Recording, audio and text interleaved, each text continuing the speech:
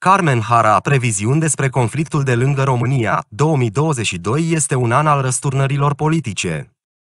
Vedeta cunoscută ca psiholog și terapiut în America, Carmen Hara a făcut dezvăluiri dramatice despre conflictul de lângă România dintre Ucraina și Rusia. Situația este foarte complicată și o să se complice mai mult.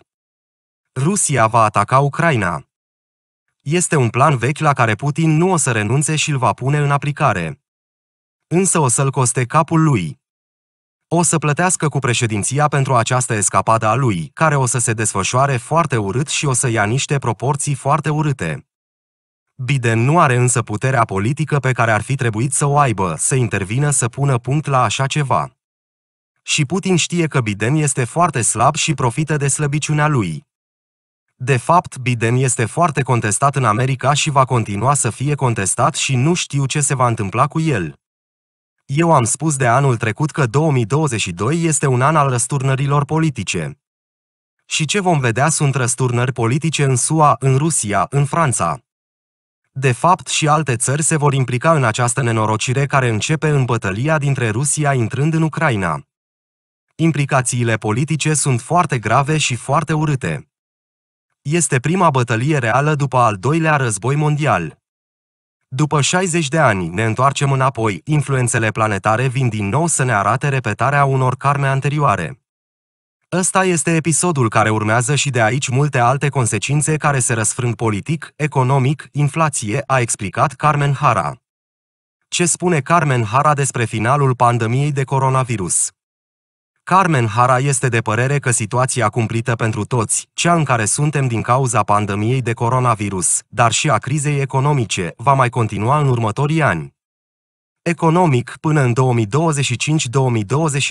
problemele se exacerbează, deci se ajunge la o cădere monetară globală, care va duce la înlocuirea monedelor, înlocuirea banilor de hârtie, mergem spre o monedă electronică, încercând să se salveze o situație prin altceva conducătorii lumii își dau seama că problema economică este pe undeva scăpată de sub control.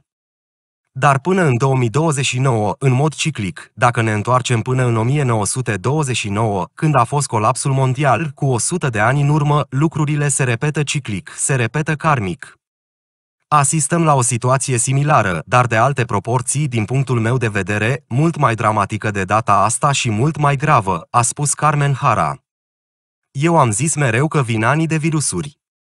Perioada omenirii din următorii 10-12 ani este destul de dureroasă, pentru că trecem prin acest purgatoriu, trecem printr-o perioadă de mare încercare emoțională, psihologică, socială, economică, monetară, cum vreți să o numiți.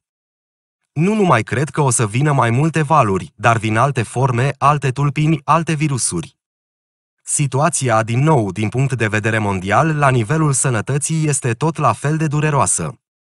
Toate aceste schimbări se vor produce, abia după aceea putem să ne considerăm că intrăm într-o eră economică mai stabilă.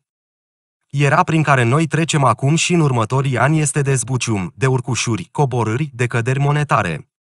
Situația este scăpată de sub control, părerea mea a mai spus aceasta. Carmen Hara, o să scădem substanțial din cauza acestor virusuri. Consecințele sunt dramatice, iar inflația este fără precedent, absolut fără precedent în istoria a 100 de ani. Noi suntem, la ora actuală, vreo 7 miliarde și ceva, o să scădem substanțial din cauza acestor virusuri.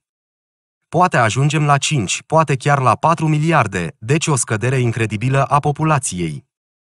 Recomandabil este să ne întoarcem la cum trăiau bunicii, străbunicii noștri, la țară.